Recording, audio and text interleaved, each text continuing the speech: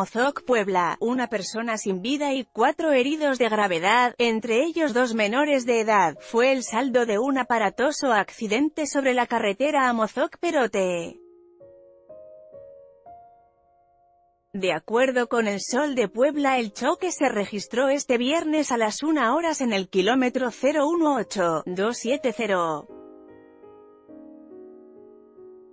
Sobre dicha carretera viajaban una familia a bordo de un Suru con dirección a Perote, en donde se impactaron contra un tractocamión.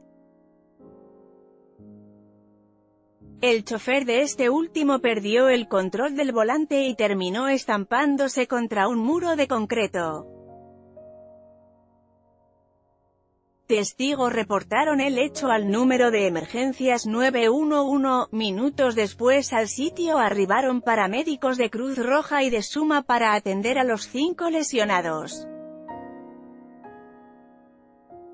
Tres de ellos fueron trasladados a un nosocomio de la capital poblana.